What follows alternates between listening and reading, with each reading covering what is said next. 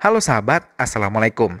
Apa kabar? Semoga sehat selalu dan senantiasa berbahagia. Semoga Tuhan Yang Maha Kuasa selalu memberikan rezeki yang berlimpah ruah dan juga berkah untuk sahabat semua. Cerita tentang sebuah film yang berjudul Valimai.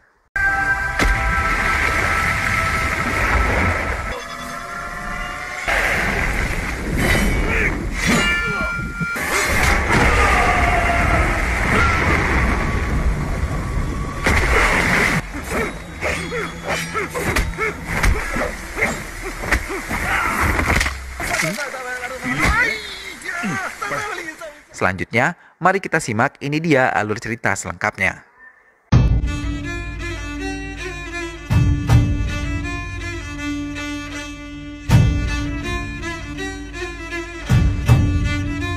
Nah, sahabat inilah dia para pemain ataupun tokoh di dalam film ini. Arjun merupakan pemeran utama seorang polisi IPS dari Madurai yang diberi tanggung jawab untuk menangkap geng perusuh di Tamil Nadu, Chennai. Sofia adalah polisi bagian obat-obatan terlarang yang membantu tugas Arjun. Kuti adalah adik laki-laki Arjun, Wolfranga adalah ketua Satanes Labs, dan Sarah adalah kekasih dari Wolfranga. Itulah para tokoh dan pemeran di dalam film ini. Selanjutnya, mari kita simak ini dia alur cerita selengkapnya. Kolombia Pembuatan obat-obatan terlarang secara besar-besaran dilakukan beberapa pekerja di sebuah pabrik besar yang letaknya terpencil dan berada di tengah hutan. Pengiriman pun segera dilakukan. Mereka memasukkan semua barang-barang tersebut ke dalam kontainer besar melewati jalan berliku dan sepi untuk sampai ke pelabuhan. Mereka telah terbiasa mengirim barang terlarang tersebut dalam jumlah besar tanpa adanya penangkapan karena anak buah mereka menyebar dan menyelinap sebagai anggota penjaga pelabuhan. Hingga di tengah laut, barang-barang itu diberi pengapung dan diambil oleh kapal kecil yang telah menunggu di tengah laut tersebut. Hingga barang-barang tersebut tiba di pelabuhan Chennai. Pengiriman mereka pun bocor dan sampai ke anggota Satan Slaves yang langsung memerintahkan beberapa anggotanya untuk mendapatkan barang-barang tersebut sebesar 25 kg.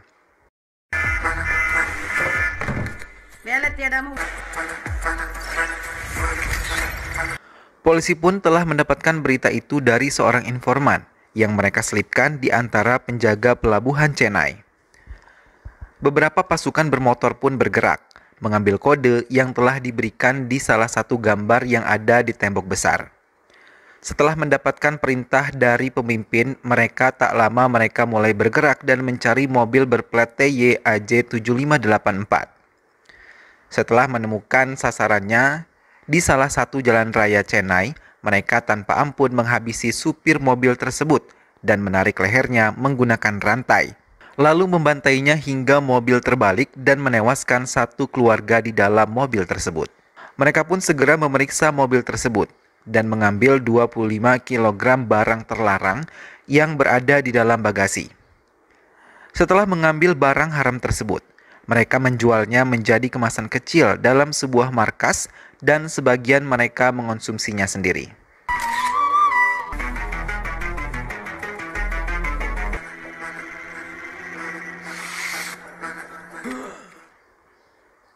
Lagi-lagi, Satan Slabs beraksi. Mereka mendapatkan tugas menghabisi seseorang.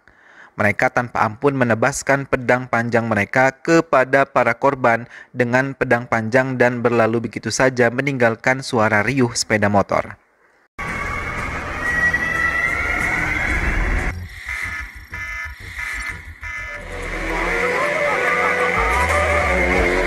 Satanes Labs juga menjamret wanita-wanita yang menggunakan kalung ketika mereka berada di jalanan. Tak sedikit korban dari mereka tewas di tempat dengan luka di area kepala dan juga leher. Setelah mereka merasa banyak melakukan kejahatan, Satanes Labs membuang semua motor-motor anggotanya di daerah Kuramanglam untuk membuang barang bukti dari kepolisian Tamil Nadu. Kali ini pergerakan mereka gagal saat mendapatkan tugas menghabisi Raja Ram karena Arjun seorang polisi IPS dari Madurai berada di sekitar tempat kejadian.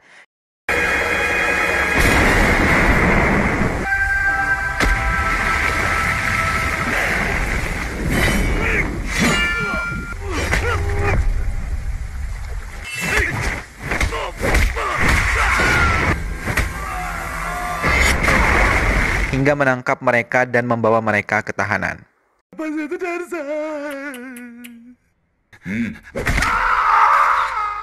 Di sisi lain, Wolfranga yang mengetahui wajah Aksai Kumar telah diketahui polisi langsung dibunuh secara kejam dan dibakar bersamaan dengan motor milik Navan.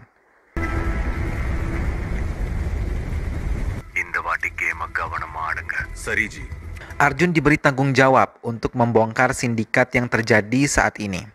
Mendapat kepercayaan itu, ia meningkatkan kekuatan IT untuk memasang semua kamera pengawas di setiap jalan di wilayah Tamil Nadu, Chennai. Tapi kejahatan tetap meningkat dan mereka mendapat laporan kalau semua kejahatan tersebut dilakukan di titik-titik yang belum terpasang kamera pengawas. Hingga Arjun merasa ia harus memperbaiki semuanya dengan lebih baik. Sampai ia menghitung dari laporan kejahatan penjambretan yang terjadi menelan sebanyak 4.800 kalung. Tanpa Arjun sadari, Satanis Labs yang telah menjambret beberapa kalung dari korbannya, mereka mengumpulkan semua kalung dan meleburnya serta mencetaknya kembali menjadi emas batangan. Pengiriman barang haram terus terjadi dari Kolombia ke Chennai. Kali ini mereka mengirimkan dalam jumlah 3.000 ton dalam sekali pengiriman. Rajanga menelpon salah satu pengurus Satanes Labs atas perintah Atarasu untuk memerintahkan anggota Satanes Labs bergerak dan mengambil semua barang haram tersebut. Wolfranga pun mulai menyusun rencana, tapi Sarah memperingatkannya untuk lebih berhati-hati karena kali ini ada Arjun yang tidak bisa dipandang sebelah mata oleh mereka.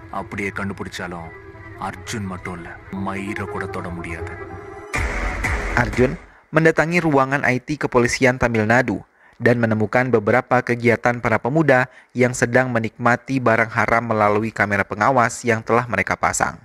Arjun pun memerintahkan anggotanya untuk menangkap mereka. Dan dari mereka lah terbuka kalau mereka merupakan anggota Satanes Labs yang pendaftarannya melalui website Satanes Lab yang bisa diakses oleh siapa pun. Wih, di ruangan IT, Arjun meminta mereka menyerahkan data beberapa pembunuh bayaran. Tak lama setelah mendapatkan data-data itu, ia meminta timnya lagi untuk mengumpan dua dari pembunuh bayaran tersebut yang belum mempunyai pekerjaan untuk menggunakan jasa mereka. Hingga mereka menemukan jaringan yang menghubungkan dengan Satanes Labs.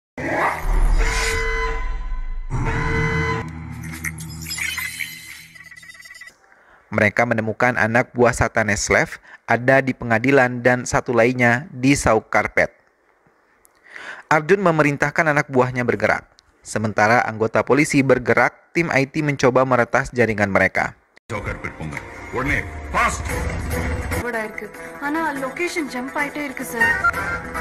Come on, come on, come on.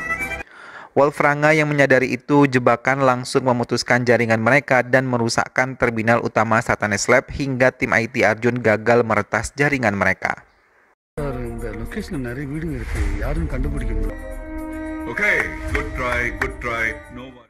Tapi kamera pengawas telah merekam wajah Wolfranga di beberapa kamera pengawas lampu merah saat ia meninggalkan markasnya yang telah hancur.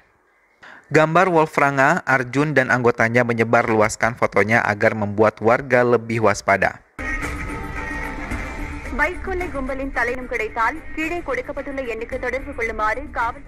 Kebocoran jaringan Satanes Labs membuat para pengikutnya merasa takut nyawa mereka terancam dari Arjun.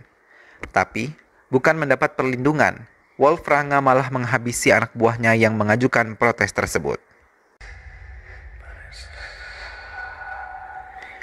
Kali ini Sarah berhasil meretas sistem keamanan IT dari kelompok Arjun, hingga Wolfranga dapat berbicara langsung dengan Arjun. Ia menantang Arjun untuk menghentikannya dalam pengambilan barang haram seberat 3000 ton yang akan ia lakukan esok hari. Arjun yang mendengar itu malah mengiyakan tantangan tersebut dan berjanji akan menangkap Wolfranga. Polisi pun memperketat penjagaan untuk memeriksa keluar masuknya mobil. Namun mereka lengah hingga Wolfranga berhasil bebas dan mencoba menyerang Arjun dan juga Sophia yang tengah bersiap di posisinya. Tapi Wolfranga gagal menyerang Arjun dan melarikan sepeda motornya dengan kencang. Tak ingin tertinggal, Arjun langsung mengejar motor Wolfranga juga. Mereka saling menghindari hingga Wolfranga berhasil dihentikan oleh anggota polisi. Tapi saat ia membuka helm, bukanlah Wolfranga yang mereka maksud, melainkan anggota Satanes Labs yang menggunakan motor Wolfranga dan bertukar di pertigaan jalan. Ia pun tertawa mengejek kegagalan polisi.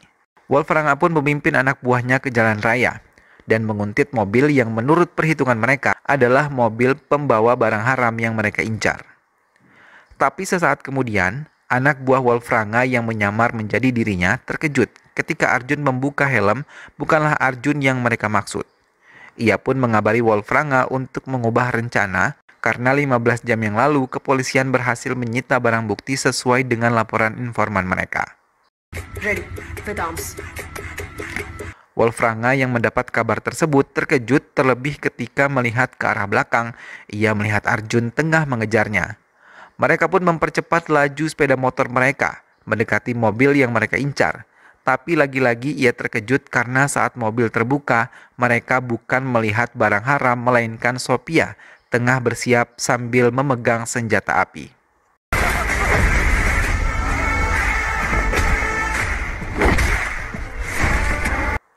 Sementara Sophia membereskan beberapa anggota Satanes Labs, Arjun terus mengejar Wolf Ranga dan dua anggotanya hingga memasuki kawasan hutan.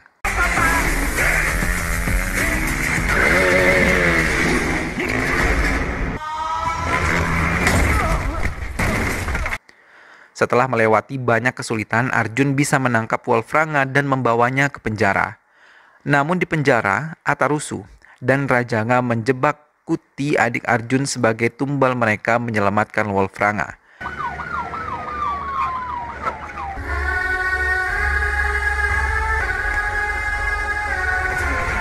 Dan mengatakan kalau Kuti adalah pemimpin Satanes Labs.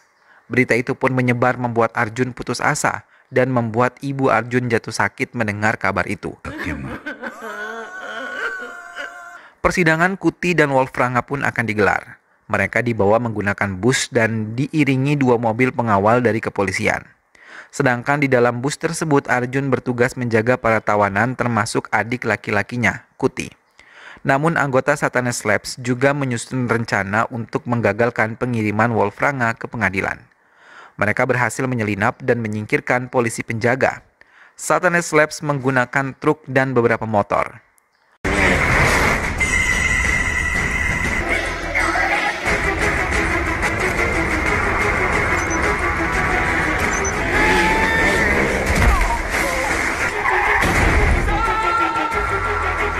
Melihat situasi yang bahaya, Arjun mengambil alih mengendarai bus tersebut. Anggota Satanes Labs yang mengendarai truk menabrakkan bagian ekornya ke bus hingga kaca bus pecah. Tapi Arjun melakukan perlawanan dan menabrakkan busnya ke truk tersebut hingga truk terbalik.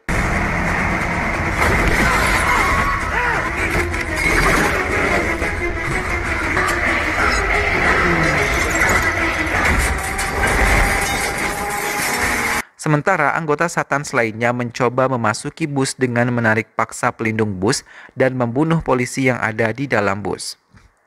Arjun terus bertahan mempertahankan bus tapi anggota Satan yang banyak membuatnya kewalahan hingga mereka berhasil masuk ke bus dan mencoba membebaskan Wolfranga dan juga Kuti.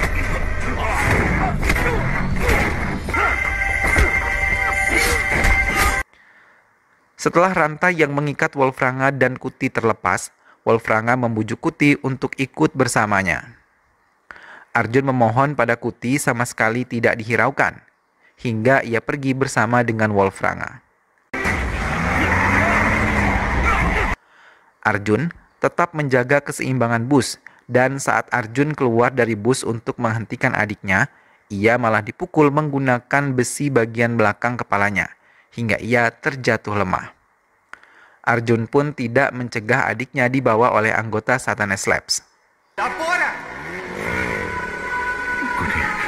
Tapi kegagalan Arjun menjaga Wolfranga dan Kuti dalam penyerangan itu mengakibatkan lima polisi tewas membuat komisaris menjadi marah dan menurunkan jabatan Arjun serta memindahkan kasus ini ke tangan Rajendra.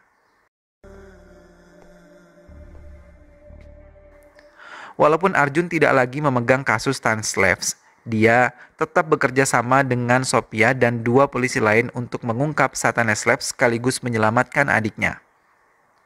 Hingga ia berhasil menemukan gudang konstruksi dan menghajar semua orang yang berada di sana, yang merupakan anggota Satanes Labs.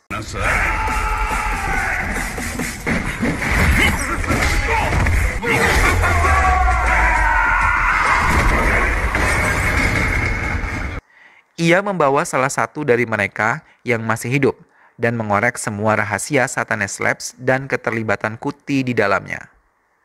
Ia pun bercerita kalau Kuti diiming-imingi pekerja karena selama ini Kuti selalu diremehkan karena belum bekerja. Ia diperkenalkan dengan Wolfranga dan langsung ditawari obat-obatan terlarang hingga membuat Kuti ketagihan dan tidak bisa terlepas dari Wolfranga.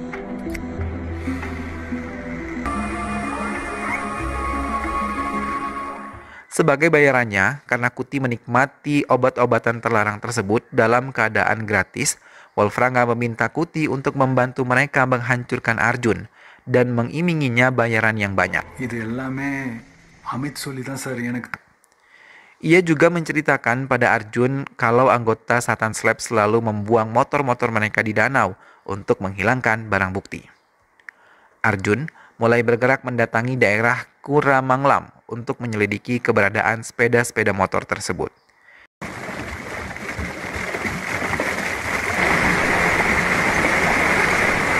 Hingga ia mengerahkan penyelam andal dan menarik keluar semua sepeda motor yang berada di dasar danau tersebut.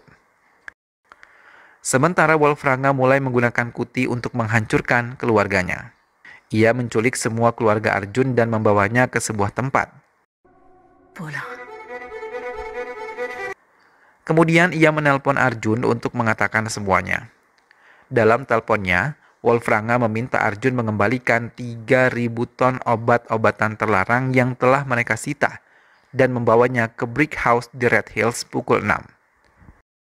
Lewat dari pukul 6, maka Wolfranga akan menghabisi semua keluarga Arjun. Mendapat ancaman itu, Arjun bergerak dan menyusun rencana bersama Sophia dan dua polisi lainnya. Sementara, di tempat tersembunyi, Wolfranga telah menyiapkan satu buah peluru di pistol yang akan dia berikan kepada Kuti. Tapi ia berbohong dan mengatakan kalau pistol itu kosong. Kuti diminta untuk menghabisi ibunya sendiri oleh Wolfranga.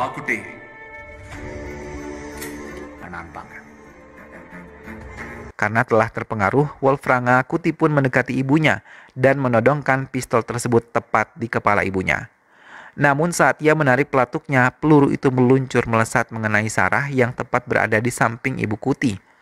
Menyadari dirinya ditipu oleh Wolfranga, Kuti sadar dan langsung memeluk ibunya sambil meminta maaf. Sementara Wolfranga merasa marah karena Sarah tewas di tangan Kuti. Ia pun langsung menghajar Kuti dan menggantungnya bersama keluarganya yang lain sambil menunggu kedatangan Arjun membawa barang haram miliknya.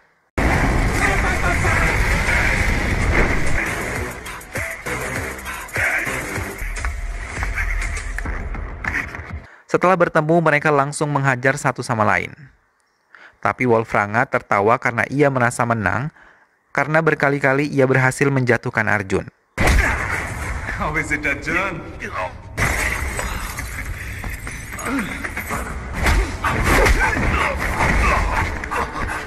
Arjun terdiam dan saat salah satu anggota IT-nya mengabari mereka telah berhasil meretas sistem Satanes Labs, ia langsung menyerang Wolfranga dengan lebih semangat.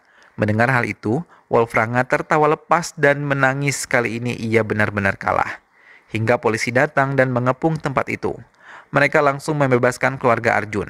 Setelah kelompok Satanes Labs memasuki markas Wolfranga, mereka langsung meminta mereka semua untuk menyerah dan menangkap mereka.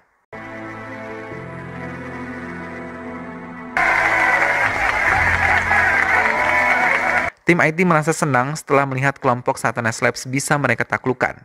Hingga mereka bertepuk tangan riuh mengucapkan selamat kepada Arjun yang telah berhasil menyelesaikan kasus ini. Dan film pun selesai. Nah sahabat itulah tadi alur cerita dari film Valimai. Kejahatan sehebat apa pun tidak akan pernah bisa mengalahkan kebenaran. Arjun dengan kehebatan dan kegagahannya akhirnya mampu menyelamatkan keluarganya yang disandra dan mengungkap kejahatan yang telah dilakukan oleh sang mafia. Semoga sahabat semua terhibur setelah menyimak alur cerita film ini. Sampai berjumpa lagi di alur cerita film-film selanjutnya. Terima kasih sudah menyimak video ini sampai akhir. Sampai ketemu lagi sahabat, sehat selalu dan wassalamualaikum.